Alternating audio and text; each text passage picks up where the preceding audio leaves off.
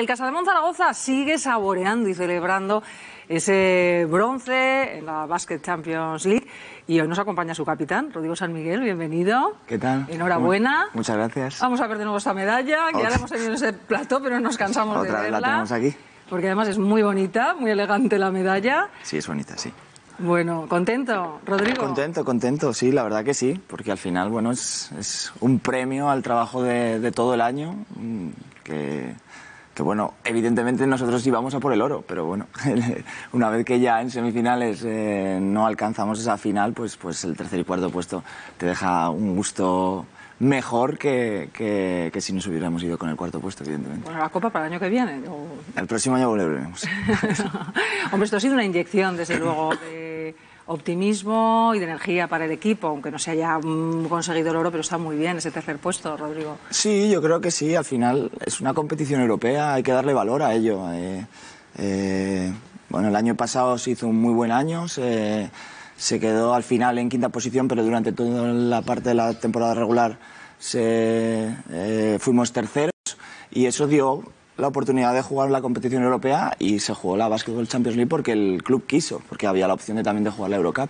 Entonces, bueno, una vez que das ese paso y que vuelves a afrontar esta competición y lo haces siendo muy regulares durante todo el año, eh, primer, en la primera fase creo que fuimos primero, en la segunda fuimos segundos de grupo y, y luego creo que hemos hecho una muy buena Final Eight que igual hay que quitarle los últimos siete minutos de la semifinal, pero bueno, es lo que... Bueno, sí, eso no, mejor se... Sí, sin eso... Mejor lo olvidamos y ya está, ¿no? Y nos quedamos con este pedazo de medalla. Supongo que queréis felicitar a Rodrigo antes de seguir Lo primero, preguntándole. la enhorabuena y, y luego una cosa que, está, que estaba diciendo, que es que, claro, parece que la tercera medalla como que se queda con ese pozo de que íbamos a por el oro, etcétera, pero claro, que es que primero hay que llegar allí. Claro, es decir, hay un trabajo detrás que hay que reconocer y, y- y esto me recuerda ya la época, en mis antaños ya cuando el CAI sonaba por, todo, por todos los sitios, ¿no? Pues volver a escuchar el, nombre de Zaragoza en lo más alto del baloncesto, pues hombre, es de agradecer y, y agradecer sobre todo a ellos que son los que se han esforzado para, para, para ponerlo ahí. O sea que enhorabuena.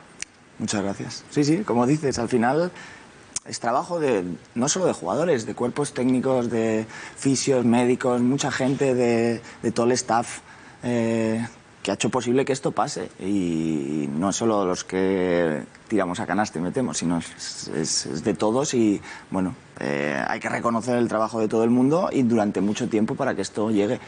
Porque, y, tampoco, y tampoco es solo de, de este año, sino Claro. que ha habido que construir poquito a poco durante muchos años eh, y ahí la directiva, patrocinadores se han involucrado para que al final, es como decías, Zaragoza esté por toda Europa y finalmente ya hemos conseguido una, una medalla de bronce. Que ojalá llegue un día que sea de oro. Seguro que sí, eso seguro que sí. Y además todo esto después de un año complicado, un año sin público. exacto. Habéis tenido público ahora, que, mm, pero a público En que contra. a los otros en contra, ¿no? ¿Eso, ¿Eso lo notáis mucho para jugar? Se nota mucho, sí, sí. Bueno, eh, que yo, yo lo decía, digo, casi prefiero que haya público, aunque sea en contra, pero que haya público, porque notas otra sensación, es un partido real. Es que a veces parecen, no te voy a decir partidos de entrenamiento, porque evidentemente el, el esfuerzo es diferente, la, la competición es diferente, pero, pero se queda todo un poco a medias. Entonces, haber Hace jugado solo- con público. Hace solo tres temporadas estabais peleando por no descender y ahora lo habéis hecho por un título europeo. ¿Cuál crees que va a ser ahora el, el futuro del equipo? Porque es verdad que ha quedado un poco... ¿Cuál va a ser el futuro del equipo? ¿Esto es una inyección?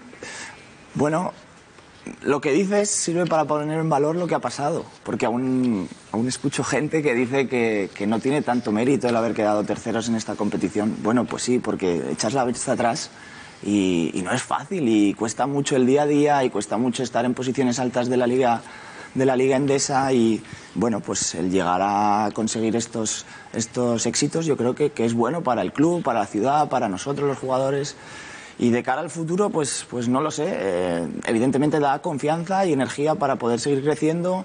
Sobre todo vivimos de sponsors y de, y de- de gente que, que pone su dinero para que esto pueda seguir creciendo, pues, pues que, que vean que, que se refleja en, en- en éxitos, pues yo creo que es importante para, para seguir creciendo y tener ambición. Ahora, Rodrigo, queda pensar en la liga. Desde que llegó el nuevo entrenador, eh, habéis tenido unos buenos resultados. Hay que Sí. seguir en esa línea. Sí, nos quedan dos partidos. Igual se nos queda un poco corta la liga, la competición ahora, que vamos como en línea ascendente desde que desde que llegó Luis, la verdad que estamos mucho mejor y, y bueno, pues a ver, a ver estos dos partidos que quedan. Eh, el playoff es casi imposible, si no es imposible, pero, pero bueno, cuanto mejor quedemos de cara a- en la clasificación final para que nos puedan conceder otra opción de, de, de- de plaza en, en competición europea, pues mucho mejor.